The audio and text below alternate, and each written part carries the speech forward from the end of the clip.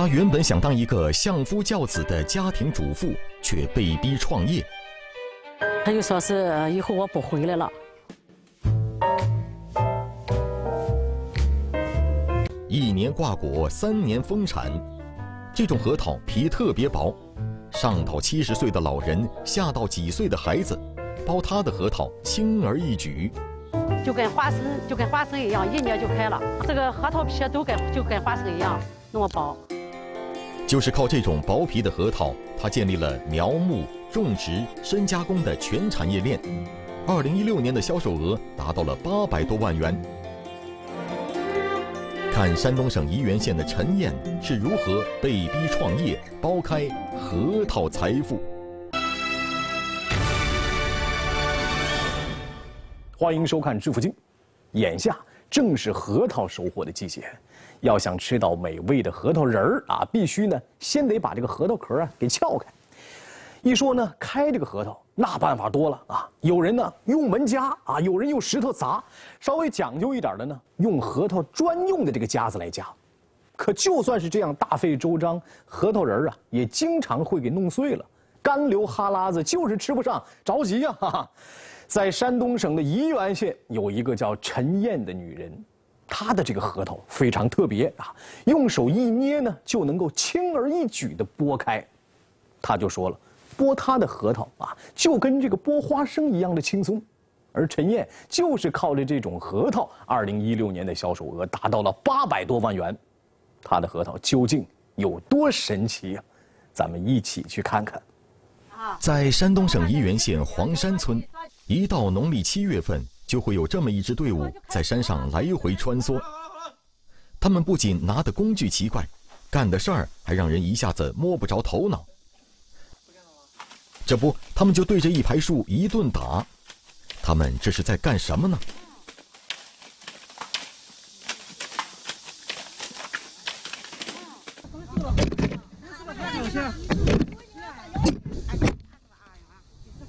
其实他们是在打核桃。一说起谁打核桃最好，大家都异口同声地说起了一个人：核桃姐，核桃姐，核桃姐。她叫陈燕，就是大家口中的核桃姐，也是这片核桃林的主人。陈燕说：“要想核桃打得好，关键是得瞄准位置。绿色这一节就是果柄。”啊，打核桃必须打这个果柄，要是敲旁边的话，那肯定它晃，它一一下下不来。而且这打核桃的杆子也是有讲究的，杆子要比较稍微壮一点啊。你看，就像了这一个杆子就有点软，它这个打起来以后，它老是软，它没劲儿。所以说，你看软的这一块就把它去掉，啊，这样可以去掉了哈，看一下。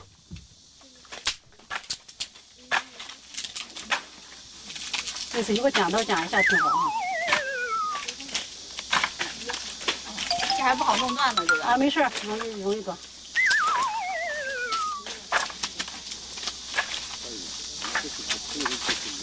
啊，好，这样哈，把这去掉。哎，这样这样就它就它就壮了哈。表演一下哈。一敲就下来了，啊，就这样容易啊。陈燕打的核桃很特别。以前的老品种核桃树不仅挂果晚，结出的核桃皮还特别厚。在大家童年的记忆里，肯定有被核桃挤烂的门，被门挤烂的核桃仁儿，肯定也有想剥壳剥不开，想吃吃不到，着急的流哈喇子的时候。对了，全都碎了啊！小时候就这么吃，吃核桃也是用门夹，这个门上一般都有火，夹了一个一个的。再讲究一点的，就用核桃夹夹，光用手捏是绝对捏不开的。我试一下。嗯。啊，捏不开。陈燕培育出来的核桃皮特别薄，徒手就能剥开，还能轻而易举地剥出一个完整的核桃仁来。陈燕说：“剥她的核桃就跟剥花生一样简单。”这个核桃的特点就跟花生就跟花生一样，一捏就开了。这个核桃皮都跟就跟花生一样那么薄啊！你看，啊，一掰就碎了。你看，啊，一剥整仁就出来了。啊，这就是我们产品的那个特点，它的亮点。陈燕就是靠着这种核桃，建立了核桃苗木、核桃种植、核桃加工的全产业链。二零一六年，他的基地面积达到了三千八百亩，销售额有八百多万元。当地村民提起他来，个个都竖大拇指。你陈燕啊，你真是好样的，我说，那你真是咱这四邻八乡的女中豪杰，你是女强人啊！女汉子，坚强，有魄力，有能力，这不是个女汉子吗？然而陈燕却不喜欢别人这么夸自己。我是想走，我想我想要这个效果，啊，就说说他不能干。你希望别人说你不能干？啊，我觉得这样的话，我可能更进步了。陈燕说，她最想当的其实是家庭主妇，在家相夫教子。然而是生活把她逼到了这一步，逼成了一个打拼事业的人。那么在她的身上究竟发生了什么？他又是怎么一步步走到今天的呢？二零零零年的一天晚上，陈燕被丈夫叫到村头，丈夫张嘴说的一句话给了她致命的打击。他说：“不管怎么说，我不回来了。”接着是沉默。我的就就把胳膊就这样。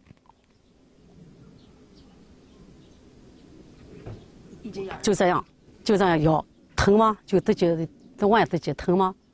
啊，你如果疼的话，你还是一个正常的人；你如果麻木的话，疼你死去吧，不要活了。陈燕的丈夫之所以这么说，是因为他有了外遇，要离家而去。陈燕怎么也不会想到，这种电视剧里才有的情节，竟然会发生在自己的身上。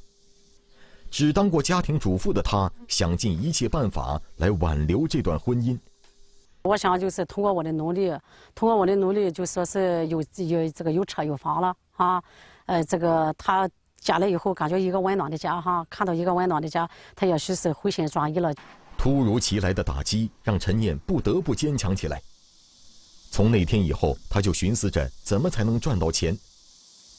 早在1985年，陈燕发现了一个特殊的核桃品种。老品种的核桃树要十几年才能结果。然而，这个小核桃树第一年就能结核桃了。陈燕眼前的这棵两年的核桃树苗就已经结了五个核桃。我数一下哈，一、二、三、四、五。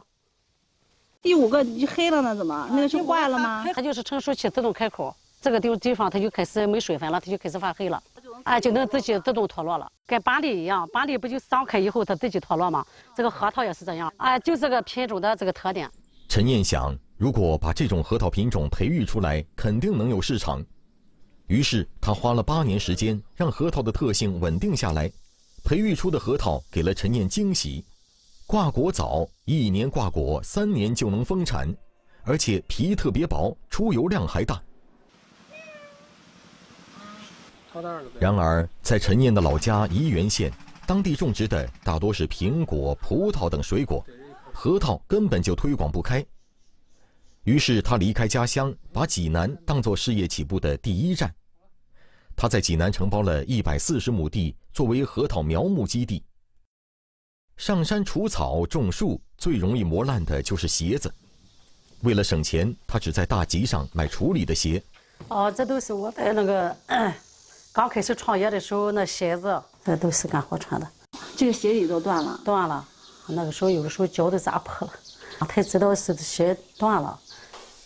省吃俭用，并没有让陈燕卖出几棵核桃苗，连工人的工资也发不出来。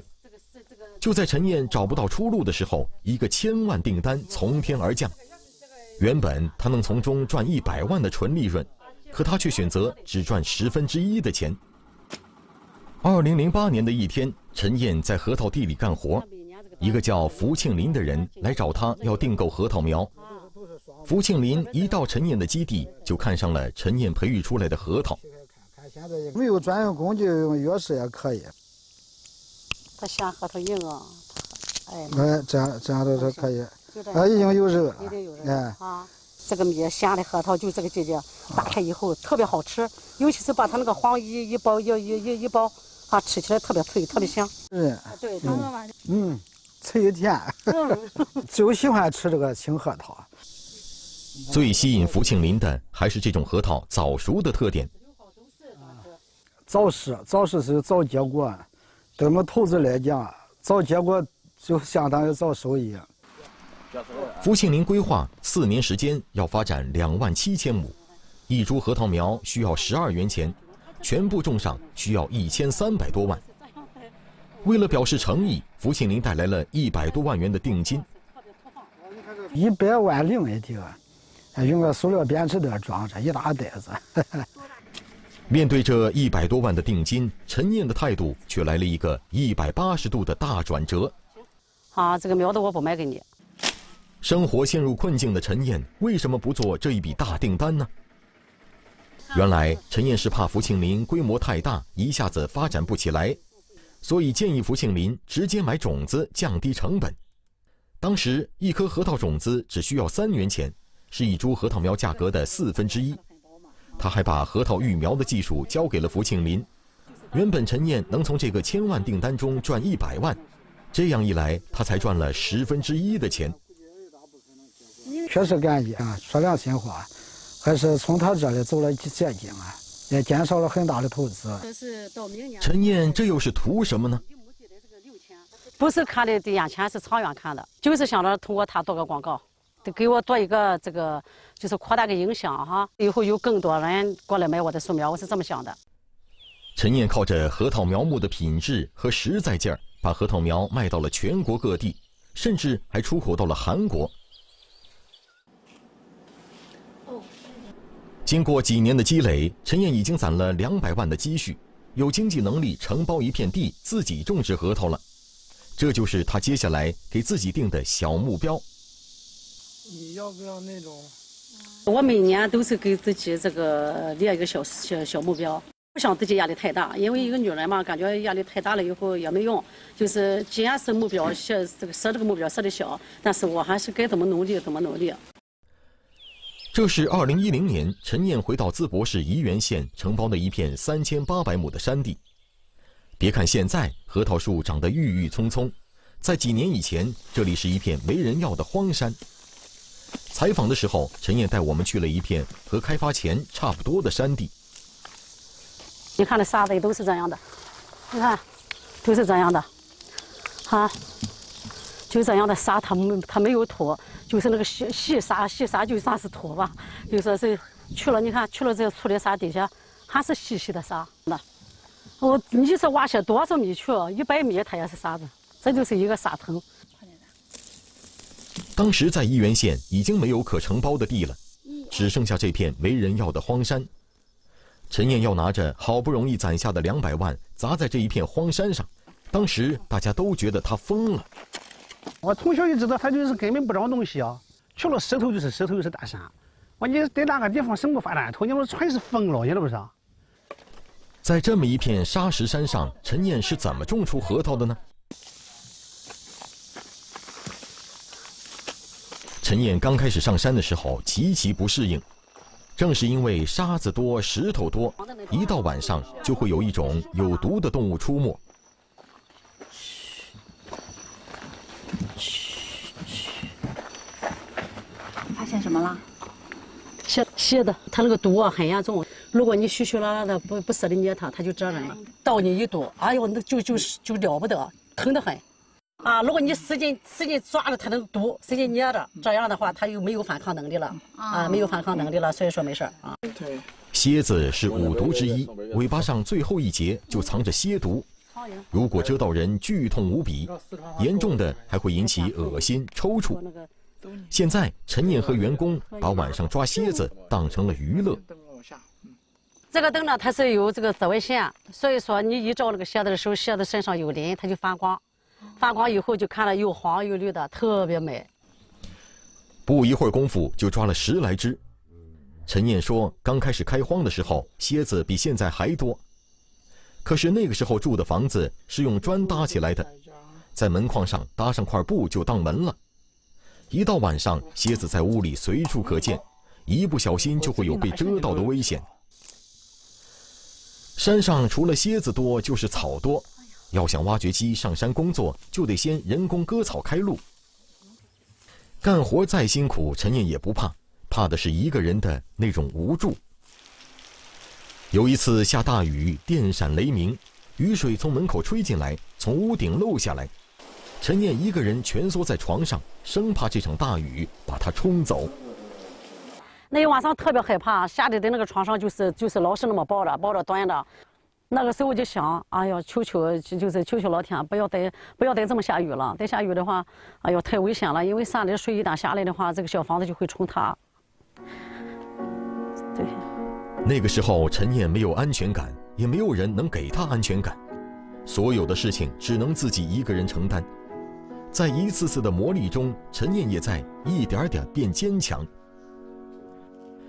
陈念希望核桃树能够跟她一样坚强，在这片贫瘠的土地上生根发芽。在他的精心呵护下，核桃树茁壮成长。陈燕说：“核桃树像他，他也像核桃树。只要坚持了，啊，那个人也能生存下来，也能就这个树也是一样的。”第二年的时候就看了看到了希望，第三年的时候歘冒出来了一米多，我就想哎呀，真是，真是真觉得特别欢喜，就想陈燕你成功了，就这样自己自言自语的，哈哈哈，成功了就这样。三千八百亩的荒山，三年时间在陈念的手上变得郁郁葱葱。每到农历七月份，陈念的核桃就可以采摘了。他今年的核桃已经到了盛果期，一棵树就能结二十多斤。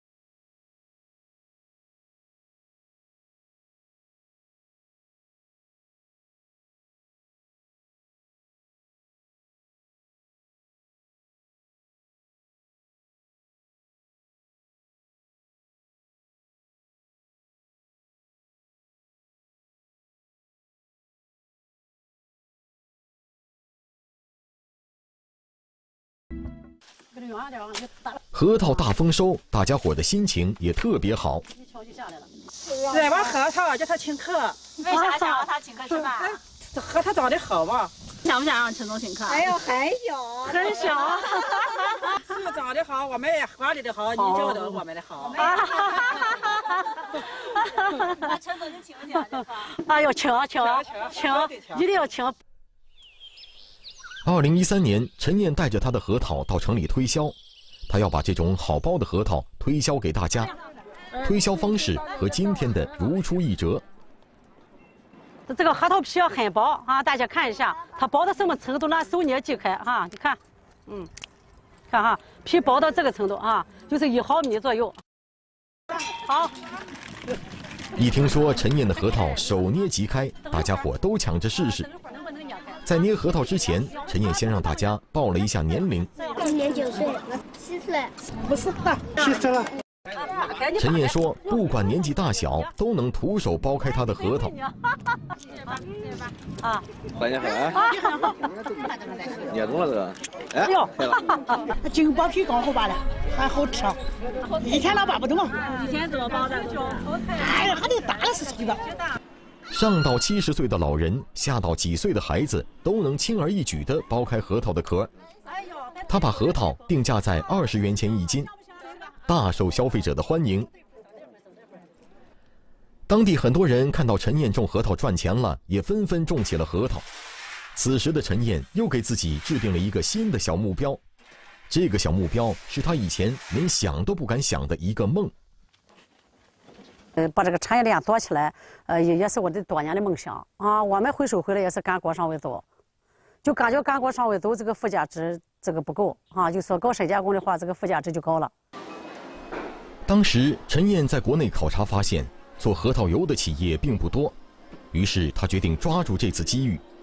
在国内，植物食用油的竞争非常激烈，大企业靠砸钱做广告来推广。然而陈燕可没有那么多资金可以投入，还是老一套，眼见为实。陈燕在推广的时候，特意选择在当地人流量比较大的广场。然而陈燕一张嘴就语出惊人。这我家的这个核桃油啊，都可以生喝啊，可以生喝。相信不相信？相信啊！从哪一方面说不相信？以前没喝过。都可以生喝。为了打消市民们的顾虑，陈燕现场就打算给大家演示一下生喝核桃油，而且要一口气喝下一玻璃杯。这一玻璃杯足足有二两。啊，二两，我能一会儿就把它喝下去。啊，大豆油不能生喝，啊，花生油不能生喝，核桃油能生喝。二两核桃油，陈燕一饮而尽。什么感觉？很香很香的。哦，哎呦！市民们看到陈燕的核桃油可以直接生喝，都跃跃欲试。没下去。购买。哇，老天，那里都喝了，你等要着急？经常吃核桃。那么，他的核桃油为什么能生喝呢？我们来到陈燕的核桃油加工厂一探究竟。陈燕对加工核桃油的原材料有着严格的要求。加工油以前必须得调好，核桃一是从颜，色是说是淡黄色的是最好的。加工出来的油呢，特别透明，特别清晰。啊，达不到那个标准的呢，就是这这个人的这一种。因为它这个核桃衣它是黑的哈，里面的米也多少有点变质，它影响了这个质量了。陈燕选的核桃仁儿不仅要新鲜，而且出油率还得高。我们选择的这个品种呢，就是加工出来的油特别大。你看，我看一下，我一捏那个油，它就它就出来了哈。这一斤核桃米榨一次的话，就得六两多。陈燕的核桃油之所以能喝，最关键的还在于加工的工艺。它使用的是初级生榨的加工技术。核桃油一炮而红，陈燕完成了她建立全产业链的目标。陈燕的丈夫一走就是十几年。这十几年里，陈燕见到丈夫的时间加起来不过一百多天，员工成为了她最暖心的家人。对婚姻的坚守，让陈燕从无助到坚强，从家庭主妇到女强人。现在，她的脸上不仅有了笑容，还多了一份坦然。